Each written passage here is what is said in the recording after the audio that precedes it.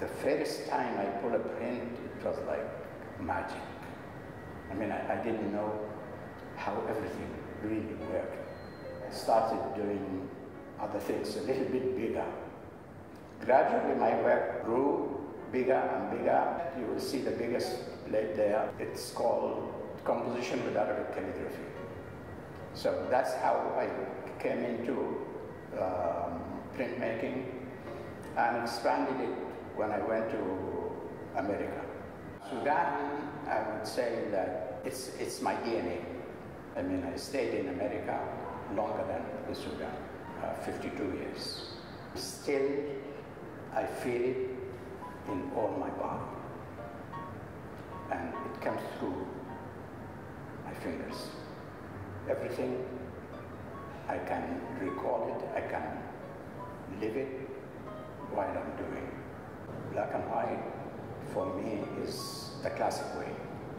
And it's the richest um, medium, the richest color for me in all printmaking.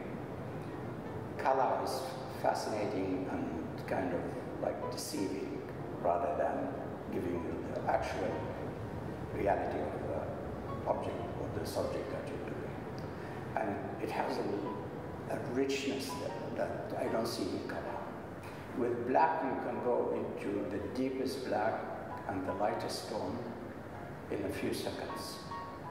And you get the richness that, and the mystery also carries mystery for me.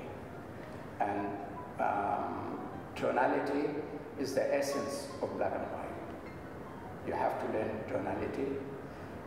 That's actually how I learned about painting through uh, doing black and white prints.